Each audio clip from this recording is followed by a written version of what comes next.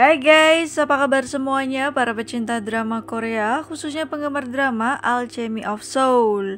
TVN telah membagikan pre-release untuk episode ketiga. Mudok terlihat mengintip Soyul di balik rak buku guys. Di situ Soyul sedang membaca buku. Nampaknya Mudok ketahuan Pak Donggu guys dan akhirnya dia bertemu dengan Soyul. Soyul dan juga Mudok akhirnya bersembunyi di suatu tempat karena para pengawal dari Songrim ini akan berganti baju. Mudok dan Soyul terjebak di tempat itu guys. Mereka berdua tidak bisa berbuat apa-apa.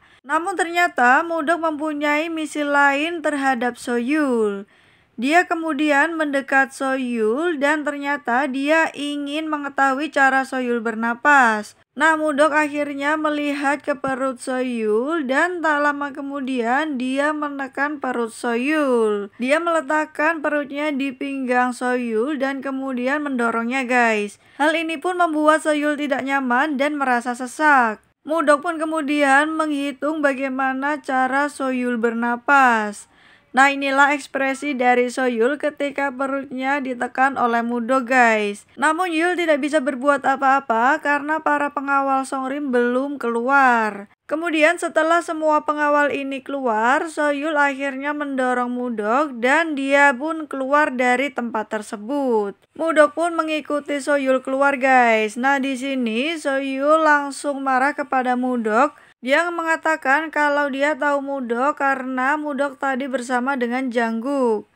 Dan Mudok pun masih berharap dia bisa memeluk Yul lebih lama. Yul semakin kesal kepada Mudok, akhirnya dia pun kembali bertanya kenapa dia melakukan hal tersebut kepadanya. Nah, Mudok ini masih mengincar untuk memeluk Yul guys.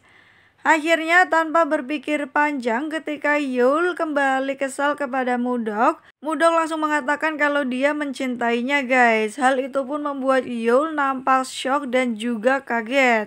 Tanpa berpikir lama, akhirnya Mudok pun kembali melancarkan aksinya untuk memeluk Yul. Namun langsung ditangkis oleh Yul dengan kekuatannya. Sehingga membuat Mudok ini jatuh. Nah, Mudok mengatakan kalau itu sakit guys.